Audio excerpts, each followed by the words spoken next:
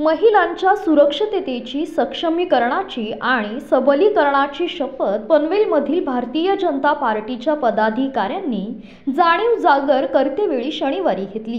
तसेच महिलांवर अत्याचार करणाऱ्या विकृत मनोवृत्तीचा मूक निषेध केला. पनवेल महापालिकेचे माजी सभागृह नेते परेश ठाकूर यांच्या नेतृत्वाखाली हा जाणीव जागर पनवेल शहरातील राष्ट्रपिता महात्मा गांधीजींच्या पुतळ्यासमोर शनिवारी करण्यात आला.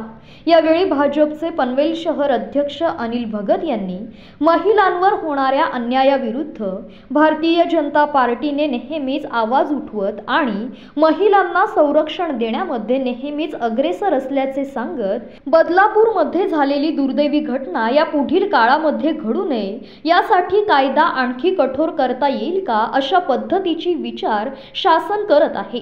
मात्र या संवेदनशील विषयाचे राजकारण केले जात असून हे अत्यंत चुकीचे असल्याचे सांगितले तसेच स्त्रियांना सन्मान मिळावा यासाठी प्रत्येकाने प्रयत्न केले पाहिजे असे आवाहन केले. भारतीय जनता पक्ष नेहमीच स्त्रीवर जे होणारे अन्याय असतील त्या अन्यायाच्या विरोधात आणि त्यांना संरक्षण देण्यामध्ये नेहमीच अग्रेसर भूमिका ही भारतीय जनता पक्षाचे माननीय देवेंद्र फडणवीस साहेब असतील सर्व जे नेते असतील त्यांची राहिलेली आहे.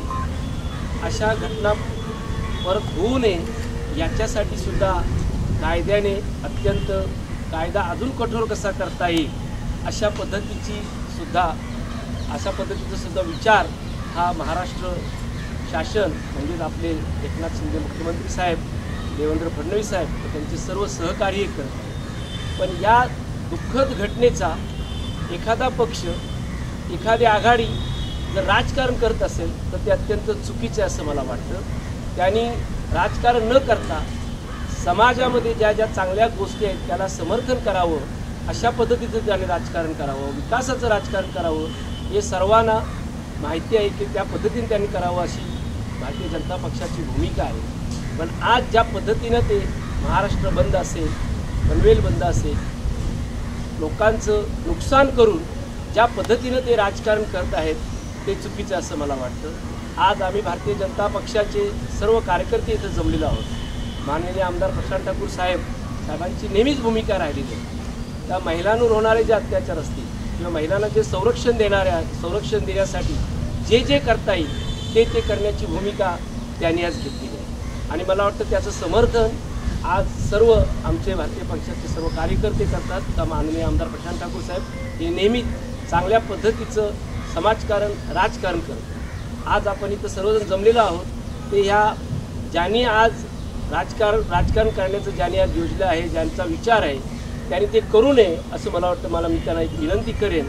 आणि भारतीय जनता पक्षातर्फे आज आम्हाला ज्या पद्धतीनं महिलांना सबल करण्यासाठी महिलांना ज्या ज्या गोष्टीचं त्यांना आयुष्यामध्ये भविष्यामध्ये त्यांना ज्या ज्या चांगल्या गोष्टी देण्यात येतील त्यांना संरक्षण देण्याचा विषय असेल त्यांच्यासाठी शिक्षणाचा विषय असेल हे सगळं करण्याचं काम आज भारतीय जनता पक्ष करत आहे.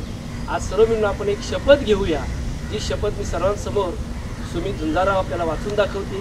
त्याच्या पाठीमागं सर्वांनी ती शपथ घेऊन त्या शपथीचं सर्वांनी सर्वांनी त्या शपथेप्रमाणे वागावं आणि आपल्याला मी नम्रपणे विनंती करेन का अशा पद्धतीचंच आपण भारतीय जनता पक्षाची जे काम आहे ते चांगल्या पद्धतीनं राहील.